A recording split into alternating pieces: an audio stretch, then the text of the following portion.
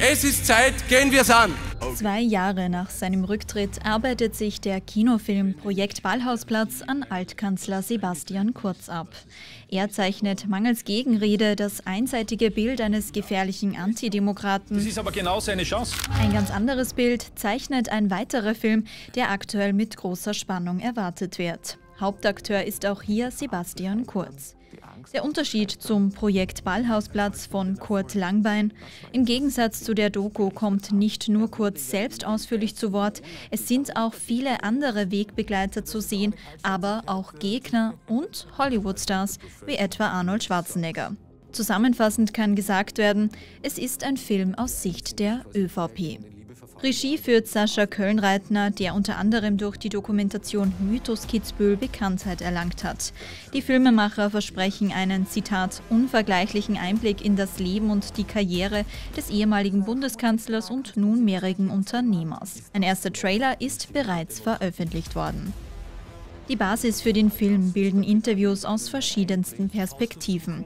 Da wären auf der einen Seite bekannte Kurzunterstützer aus der Volkspartei, wie etwa die enge Wegbegleiterin und Ex-Landwirtschaftsministerin Elisabeth Köstinger, Ex-Kanzler Wolfgang Schüssel und Ex-Vizekanzler Michael Spindelecker, der als Kurzentdecker gilt.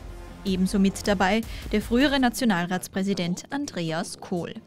Die Gegenseite des politischen Spektrums ist nicht weniger prominent bestückt. So ist Ex-Kanzler Christian Kern im Film zu sehen, der sich mit Kurz im Nationalratswahlkampf 2017 ein erbittertes Duell um den ersten Platz geliefert hat.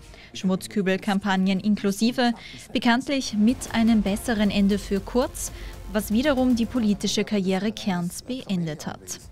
Auch zu sehen der frühere NEOS-Chef Matthias Strolz, derzeit als Musiker auffällig, und NEOS-Abgeordnete Stefanie Crisper, die kurz noch aus gemeinsamen Stunden im U-Ausschuss kennt. Wegen mutmaßlicher Falschaussage im Ibiza U-Ausschuss steht der Ex-Kanzler bekanntlich noch im Oktober vor Gericht. Ebenso nicht fehlen dürfen kritische politische Beobachter wie etwa der Investigativjournalist Michael Nickbaksch.